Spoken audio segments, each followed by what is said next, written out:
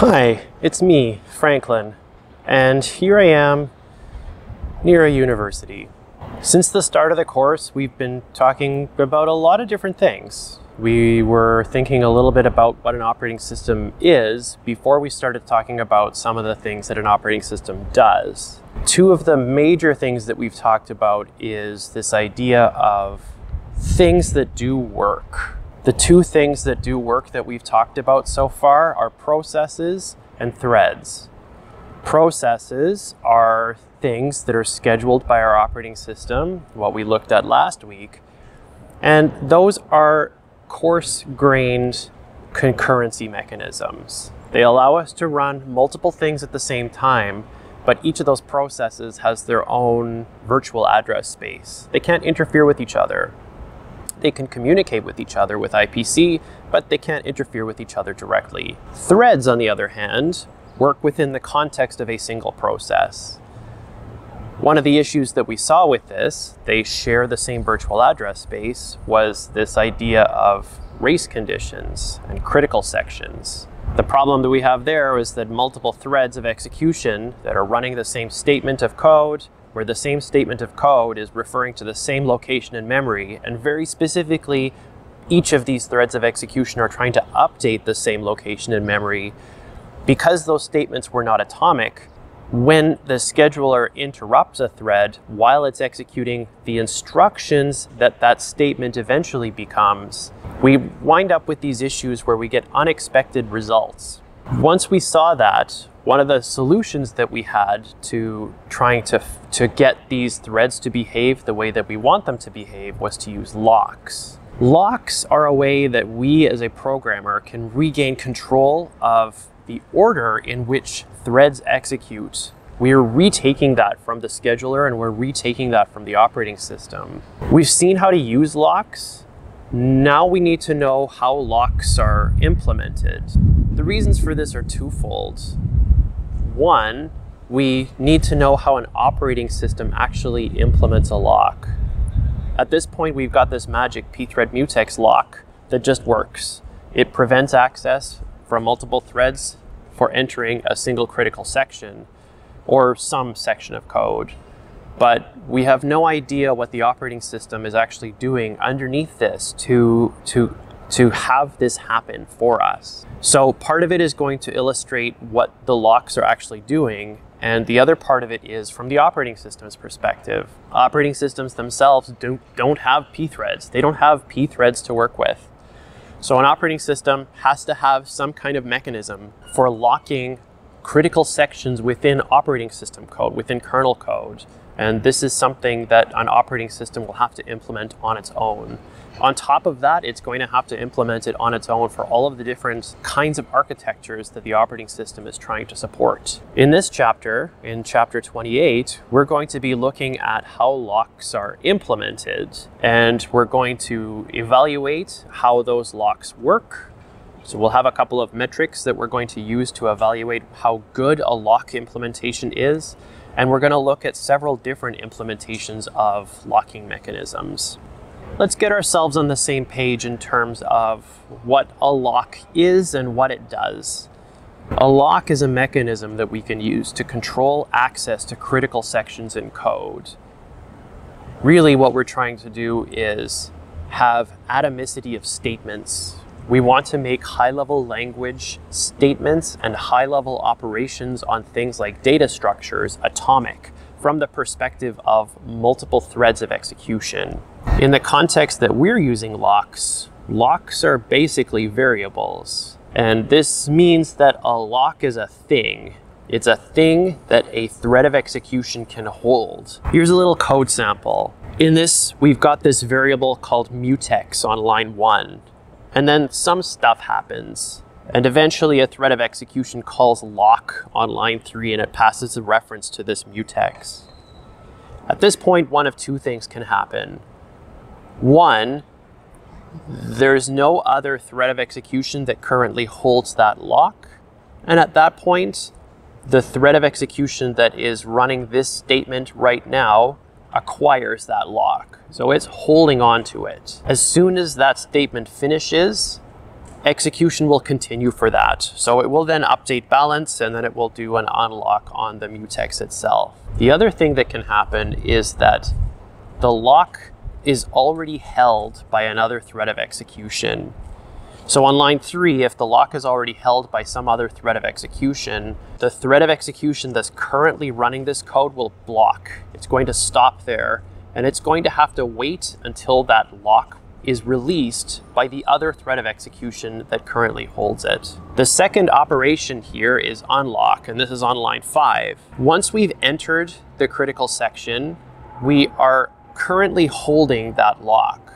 Two things can happen when we try to unlock that lock. The first thing is that there are no other threads of execution that are waiting, and the lock is just released and it's not held by anybody anymore. The other thing that can happen is that there are other threads of execution that are waiting for that lock. They're waiting to acquire that lock and they are blocked on line three. In that case, the thread is going to not just release the lock and then nobody holds it, but it will release the lock and some other thread of execution will acquire that lock on line three and start entering that critical section. This whole problem with critical sections and data races on adding threads of execution to our code, concurrency and multi-threaded code, the issues that we have with that are entirely related to scheduling being outside of our control. The operating system is responsible for choosing which thread of execution gets to go next. When we added locks to our codes, that means that we as a programmer are retaking some of that control from the operating system. We are using these locks to enforce a certain order of execution. P-thread locks are the ones that we've seen now, and these are a specific implementation of a lock. P-thread locks are mutexes. This is a short way to say mutual exclusion. And this effectively means that one thread of execution can have access to a critical section that's surrounded by a pthread mutex lock at a time. Exactly one and no others. We can translate that, that section of code that has this abstract lock and unlock function with pthread mutex lock, and it looks effectively the same. We've got this operation where we try to lock something, and we've got this operation where we try to lock something. We've used these locks already, or at least we've seen them being used in programs, and we will be using them soon. Using them is, is important. It's important for us to be able to know how to use these locking mechanisms. But like I said, it's also important for us as people who are studying the implementation of operating systems it's important for us to know how these locks are actually implemented. To build a lock, we need to have hardware support. This is an ongoing theme. When we execute code directly on a CPU, we needed hardware support to help us regain control of the processor. We used that hardware support when we were talking about scheduling to help us regain control of the processor, and then that permitted us to switch between processes. We use this hardware support with things like system calls so that we can regain control of the processor and so that we can cleanly separate things that user processes can do and things that operating systems can do. We're going to take a look at a couple of different examples of implementing locks with hardware support. We're also going to be looking at how to evaluate locks. So these implementations are going to rely on different kinds of hardware support they're going to work in different ways, and we need to be able to evaluate how good or bad those locks are actually going to be if we were to try to use them in practice. We're going to evaluate implementations of locks on a couple of different criteria. The first one is mutual exclusion. So that's a pretty important feature of a lock. Does it actually prevent multiple threads of execution from entering a critical section? We're going to be evaluating locks on fairness. Fairness here is explicitly if a thread of execution attempts to acquire a lock, can we guarantee that it will eventually get access to that lock? To be clear, this is not saying if a thread of execution acquires a lock and then runs in an infinite loop forever, no other threads of execution will get access to that lock. That's not what fairness is here but rather with well behaved threads of execution, one that locks and then unlocks and it does so in a finite period of time. So there's some set number of statements that are executed.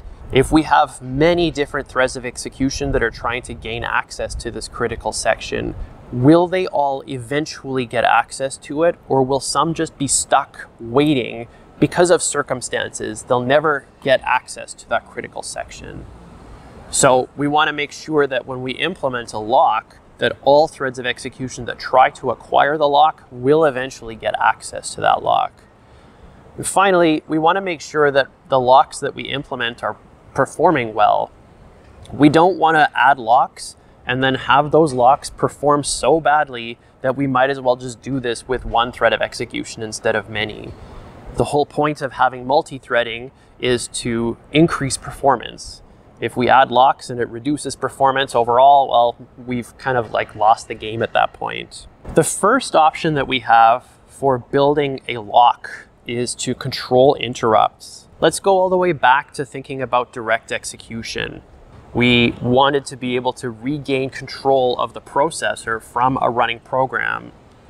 The idea there was that we wanted to have these programs be performing as fast as they could so we put them directly on the processor. But once they had control of the processor, as an operating system, as software, there was no way for us really to get control back from that process. So we asked the hardware for help. The hardware has this cool thing called a timer, and every once in a while that timer fires and it sends an interrupt. The interrupt then stops the running process and it lets us take control again as an operating system. That was really good. That allowed us to regain control of the CPU from user processes. The whole problem with this, though, was that once we added those timer interrupts and once we switched between threads of execution, that, that literally was what caused data races to happen. So a reasonable thought here would be to say, well, let's just permit a thread of execution to disable interrupts. That's our first approach to implementing locks. Here's a little bit of code that kind of has this lock and unlock mechanism. In the lock mechanism, we're going to say that there's this function that's available to us that we can call that says disable interrupts. In the unlock mechanism, we've got this enable interrupts. Assuming that this is with just one CPU on the system, it's pretty safe to say that this, this works.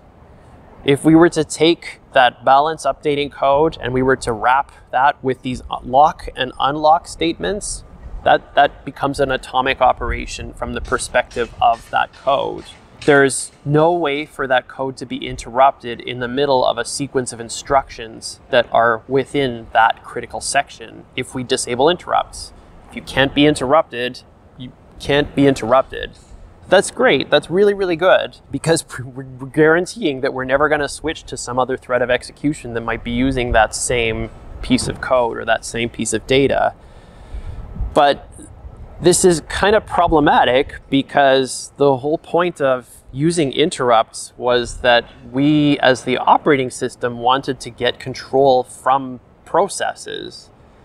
If we give user processes the ability to disable interrupts, then we're kind of just back into that same state.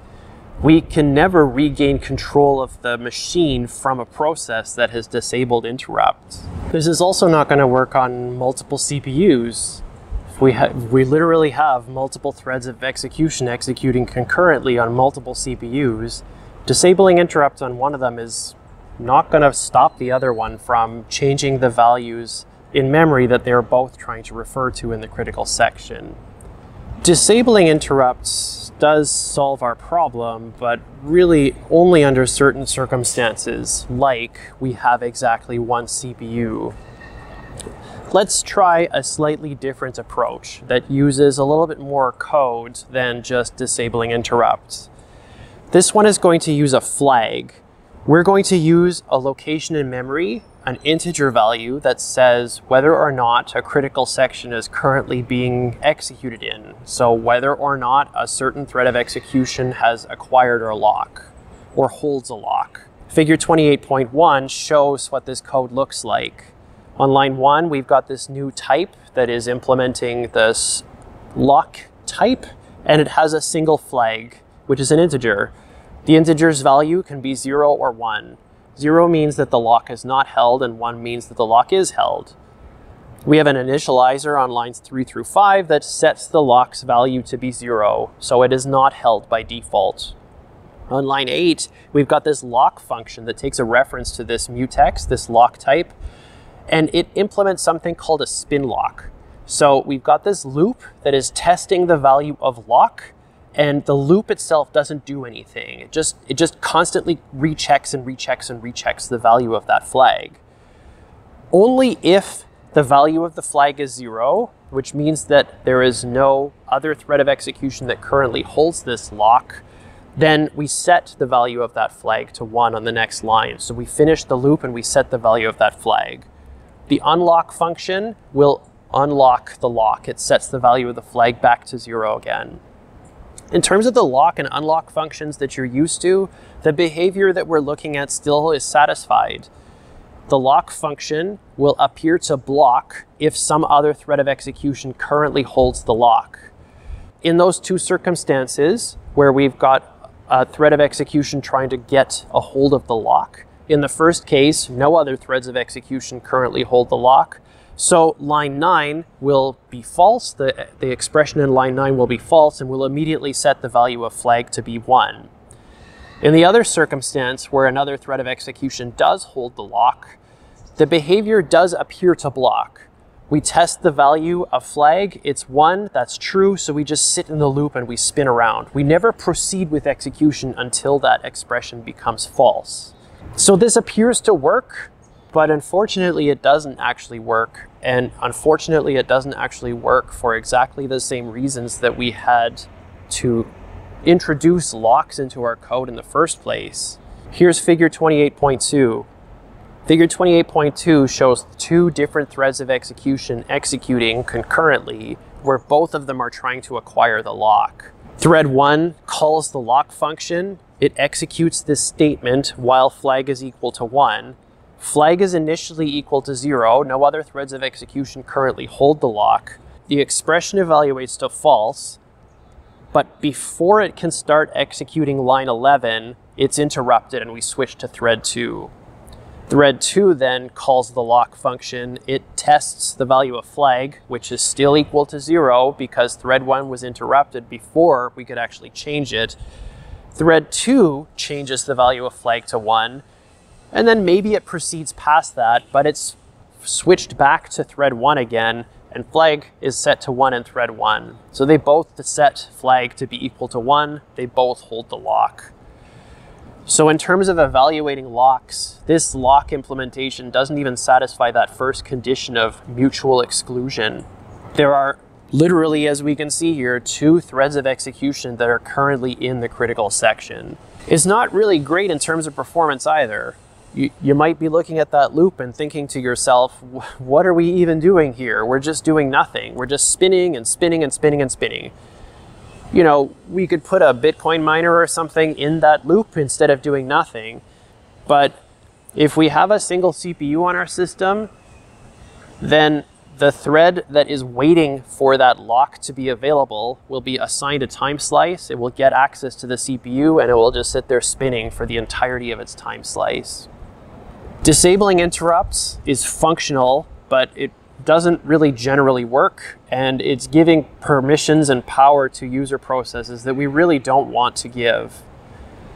Spin locks with just using loads and stores have the same problem that we had with critical sections in the first place. Those statements that we have, those high level language statements that we have, they're not atomic. So they can be interrupted in the middle of execution. We need support from the hardware to help us with this. The first approach that we're going to use that gives us some hardware support is to add an instruction to our assembly language, to our instruction set architecture that does multiple things, but it does those multiple things atomically. This first operation is called test and set, or I prefer, I prefer the name atomic exchange. I think this is a better description of what it does. The idea is straightforward Here's a little bit of pseudocode that describes what this instruction does. So again, to be clear, this is a single atomic assembly language instruction, but this code demonstrates what that single instruction actually does. The test and set function takes a reference to a memory location and it's, it takes a value that it should use to set that location to, but it also returns the value that's currently in that location. And it does that all atomically. On line one, we take a copy of what's in that memory location. In line two, we change the value that's at that memory location to the new value that was passed to us. And then line four, we return the old value. So again, this is a high level language, a pseudocode description of what this atomic instruction actually does. In and of itself, this instruction isn't very useful, but let's take that instruction and put it into this lock implementation that we had with spin locks. Everything in this code in figure 28.3 is exactly the same as the spin lock that we saw before, with the exception of what's in the lock function. The lock function now only has a loop. There is no extra statement that says change the value of flag to be something else. There's only this loop, and the only thing that's in the loop is this test and set instruction. This test and set happens atomically. So let's take two paths through this. The two options again are we try to acquire the lock and nobody else holds it. So we acquire the lock and we continue with execution. The other is that somebody else currently holds the lock. If we try to acquire the lock and nobody else has it, it's free. On line 11, test and set lock flag, comma one is going to change the value of flag whatever it is to be one. The value that it is right now is, is zero. Our test and set instruction, our atomic exchange is going to return that value. We're going to compare zero to one. That is going to be false. So we'll immediately exit the loop. At that point, the thread of execution that was able to change it to something else has successfully acquired the lock. The other option is we try to do this, but somebody else currently holds the lock. We get to line 11 here, we evaluate this test and set. The value that's currently in flag is one, it's already one. We change it to one atomically, and it returns one. We compare it to one, and that expression is true now. So what happens is we just get stuck in this loop. Test and set here is an atomic operation. We do not have this extra statement that changes the value of flag. So even if threads of execution are interrupted before or after, because test and set itself is atomic, there's no way that one can be in the critical section and another can't be in the critical section. This solution works in that it provides mutual exclusion. There's no way that multiple threads of execution can get access to this critical section because that statement is now atomic. We have an assembly language instruction that atomically does all of those things. The other, one of the other metrics that we have is fairness. Is this implementation fair? Not really, no. Remember, fairness is this idea that given many threads of execution, every thread of execution that attempts to acquire the lock, provided that they're all well-behaving threads, will eventually get access to that critical section. In this case, with this spin lock, there's still a possibility that a thread of execution can constantly be in the loop body, in the part where it's spinning. And it will never be put on the CPU in a circumstance where it is able to acquire the lock. There is some set of circumstances where this is possible. So this lock implementation is not fair. It's also not very well performing. So for the same reasons that we had with the first spin lock, we're wasting entire time slices on a single CPU where we're just stuck waiting for that thread to release the lock.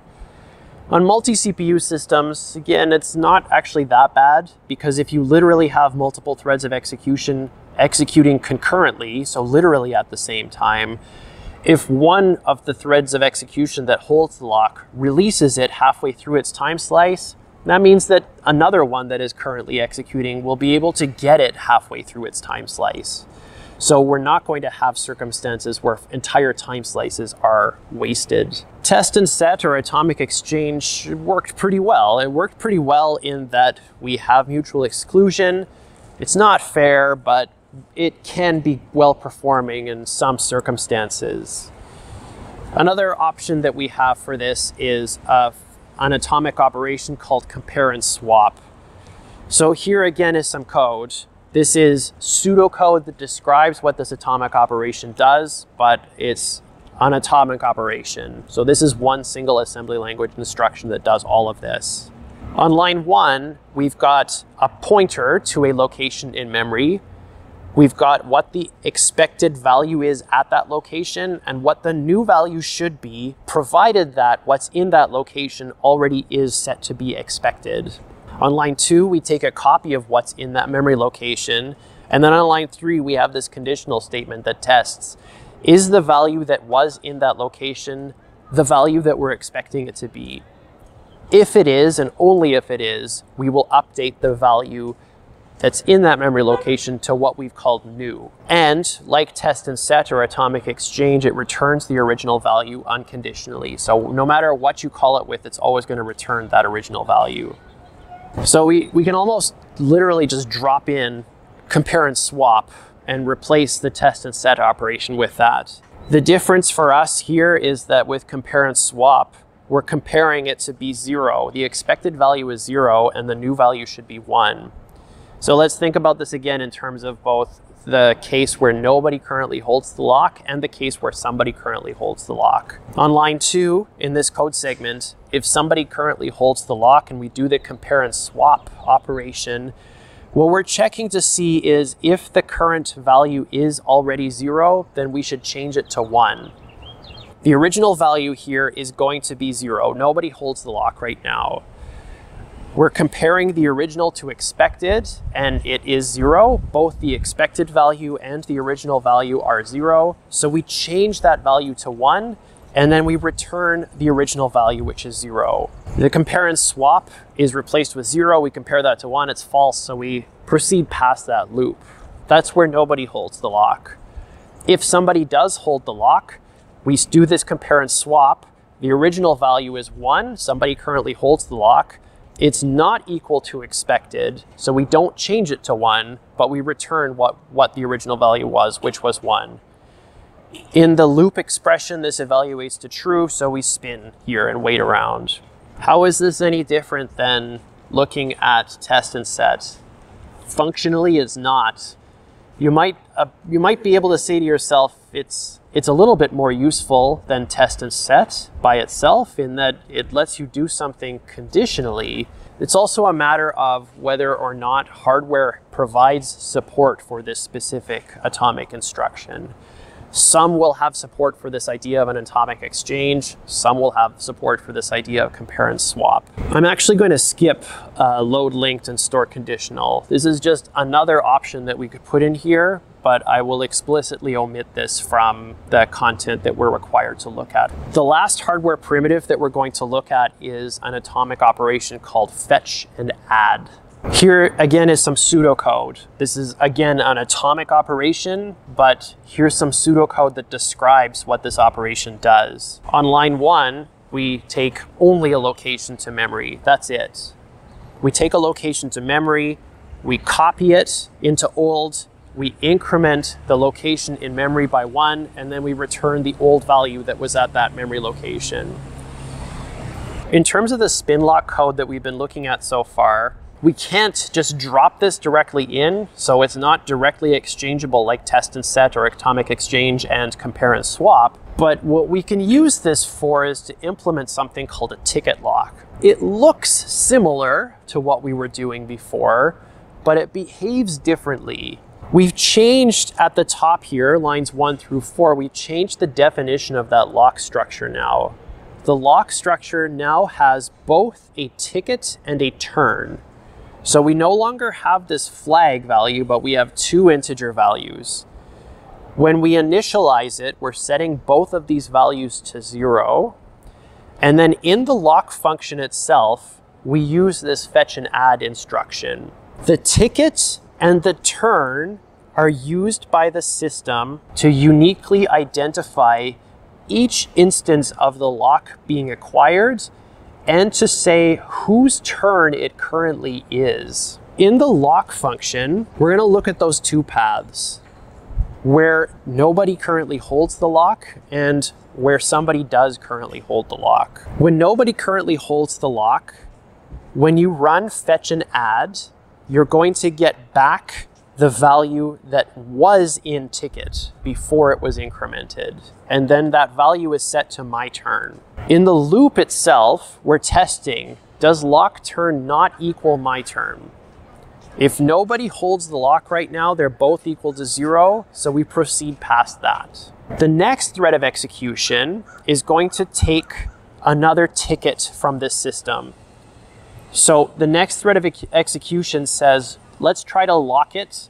I'm going to get my turn, and my turn is going to return one. It had previously been incremented atomically by the last thread of execution, trying to acquire the lock the turn value is still zero in that lock. So that means that the second lock, to the second thread of execution that's trying to acquire the lock is going to get stuck spin waiting here. The first thread of execution then will eventually release the lock.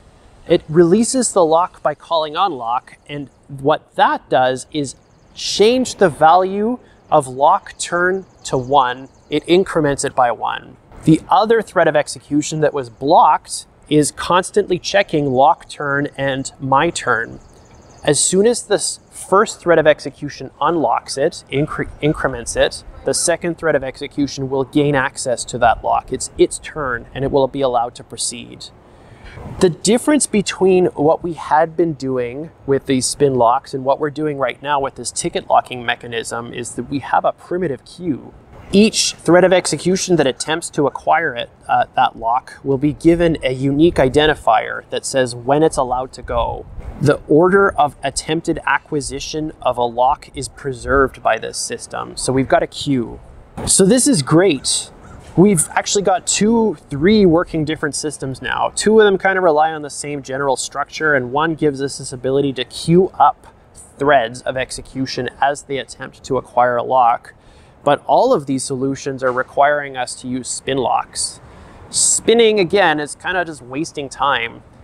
We maybe could do something useful in that, but probably not much in the context of how much time there's going to be between attempting to acquire the lock and actually getting the lock. We don't really want to be spinning though. It's still just wasting time no matter how many cycles that we're putting into this. Hardware has been able to support us in the form of atomic instructions to provide mutual exclusion here, but unfortunately hardware can't help us in terms of improving the performance of this, so reducing the amount of wasted time that we have. So what we actually need is operating system support. One simple approach is instead of just spinning, if you know that you can't acquire the lock immediately, then just give up your time slice. Yield your time slice to the processor. This is voluntarily saying, I'm, I, I can't do anything, so I'm just gonna stop trying to do something. On Linux, there's a system call called Schedule Yield, and that literally just says, as a process, I can't do anything meaningful, so please put me to sleep and schedule somebody else in my place. This is okay this is okay. It, it seems like a reasonable approach to solving this spin waiting problem, but it's not really that great in general. In circumstances where you have a very small number of threads or a very small number of processes, if you switch to one that holds the lock, it's going to run out its time slice before it is interrupted. The second process or thread of execution will get the processor it will check to see if it can acquire the lock and it will yield. So it will give up its time slice. And then we can switch back to the one that can actually do something and it will run out of its time slice. And we'll keep kind of switching back and forth between them where one is just yielding and the other one is moving forward. In circumstances where we have many threads and one lock, this is not so great. If we have one thread of execution that holds the lock and many threads that are waiting to acquire it, that one thread of execution that holds the lock will run at its time slice. And then we're going to spend a bunch of time context switching between a bunch of different threads of execution that are all going to yield the processor. So the time that's wasted by spinning is now going to be replaced by time that's wasted by the operating system switching between these processes because they're each saying, okay, I can't do anything, I'm going to give up access to the processor. In terms of going back to spinning, yielding instead of spinning, we still really haven't solved that starvation problem. This doesn't solve the issue of threads eventually getting access to the processor based on the order of their acquisition. Instead, what we're going to do is to try and change this so that rather than our thread of execution yielding the processor and leaving itself in a state where it can be reassigned to the CPU, where it can be woken up and put on the CPU again, we're going to explicitly model a queue and we're going to explicitly allow threads of execution to put themselves to sleep. Do not schedule me again because I cannot do anything useful. Let's take a look at figure 28.9. This is an implementation of a lock that uses explicit queues. It uses the test and set operation. It uses yielding and it uses sleeping and waking up. Our structure here is a little bit different than it was before. We've got flag. We still have that flag that we had in the original couple set of examples. We have this thing called a guard, and we have an explicit model of a queue. We initialize our lock, so we set things to zero, and we initialize this queue to be whatever we need to initialize it to. And then in the lock itself, we still have that spin lock. We have a spin lock that's testing and setting, but not on the flag. It's testing and setting on this guard. The guard is what is being used to lock a critical section in the locking mechanism itself, where the locking mechanism itself has a critical section that's on lines 16 through uh, 22. On line 17, this is that default case. No one else holds the lock right now. We test it and we set the flag to be one and then we set guard to be zero. So we're locking this little region of code within the lock. In the other case, where some other thread of execution currently holds the lock, provided that nobody is entering this at the same time as us, we'll get to the else part and we'll add ourselves to the queue. And then we'll unlock the guard. Here, what we're doing is using a system call called Park, which is part of the Solaris operating system. This is, there's not really anything like this on Linux that will allow us to, to do this. There's no direct synonym for this on a Linux system, but you could maybe do this with the system call called pause and the system call kill, so sending signals between processes. The unlock function now is also a little bit different. Unlock is also going to do some spin waiting on this guard. It's going to test and set that guard value, and provided nobody else is currently unlocking the lock, it's going to test to see if the queue is empty. If the queue is empty, then we just set flag to zero. Nobody is going to hold this lock right now. If the queue is not empty, we don't set flag to zero, and instead we unpark, we wake up the thing that's at the front of the queue. We dequeue the thing that's at the front of the queue. This is like similar to ticket locking, except now we're explicitly modeling the queue in this implementation. So this means that order of acquisition is preserved, which means that this is a fair implementation. This implementation will eventually give access to all threads of execution that attempt to acquire the lock in the same way that the ticket mechanism worked. This implementation is performant in that it doesn't try to schedule processes if they cannot make any meaningful process, progress. When a thread of execution knows it cannot make any meaningful progress, it tells the operating system to not schedule it anymore. That's what that park and unpark system call pair are doing. And in terms of mutual exclusion, this does satisfy that constraint. Sections 28.15 and 16, different OS, different supports, and two-phase locks, these are explicitly marked as optional, and I'm going to skip those sections for this. So, in summary, implementing locks requires some kind of hardware support in the form of minimally some atomic instructions that do multiple things. We cannot implement locking without the ability to do multiple things, and we cannot implement locking doing multiple things without having the ability to do those things atomically. When we implement locks, we want to make sure that they are mutually exclusive, they prevent concurrent access to a critical section. We want to make sure that they're fair. All threads of execution that attempt to acquire a lock will eventually get access to a lock. And finally, we want to make sure that they're performant. Spinning is not a great performing solution, putting yourself to sleep and asking the operating system not to schedule you is a pretty good way to in- increase performance. That's it for implementing locks. Thanks for listening, and I'll see you soon.